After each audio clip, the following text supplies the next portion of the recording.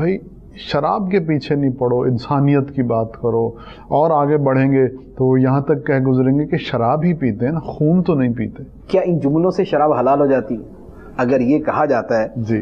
कि जनाब शराबी हाँ। तो पीते हैं किसी का खून तो नहीं किसी पीते। का खून पीते हैं ठीक?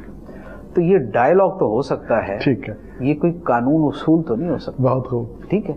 बात ये है कि भाई शराब ही तो पीते हैं हम्म, खून तो नहीं पीते। ठीक बात यह है कि खून पीना भी हराम है शराब पीना भी हराम है। यानी खून पीने से मुराद कत्ल कर देना किसी को। ठीक है। वो भी हराम है शराब पीना भी हराम है।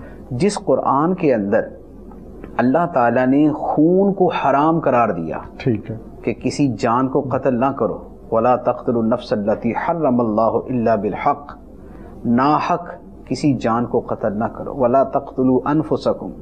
और अपनी जानों को अपने लोगों को कत्ल ना करो। जिस कुरान ने ये फरमाया है उसी कुरान ने ये फरमाया है कि शराब नापाक शैतानी काम है। ठीक है। ठीक है? मुसलमान ये जुमला नहीं कह सकता। क्यों नहीं कह सकता? इसलिए कि अल्लाह ताला ने हमें बनी इसराइल का एक तर्ज अमल बयान किया।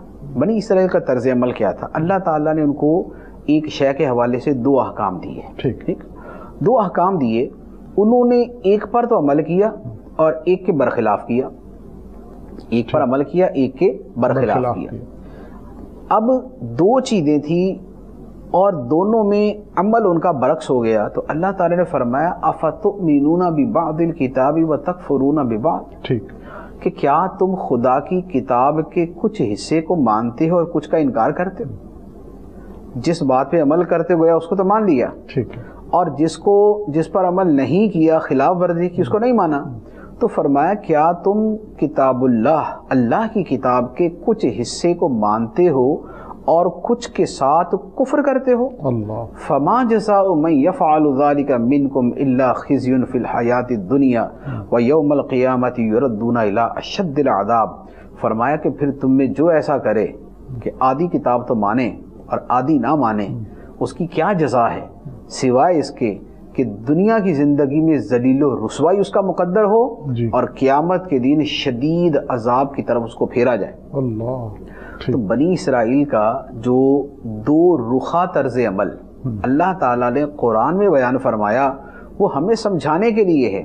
वो हमें यही समझा रहा है कि कुरान मजीद पर यूँ अमल नहीं करना कि आधे को पर तो अमल करना आधे को छोड़ देना है।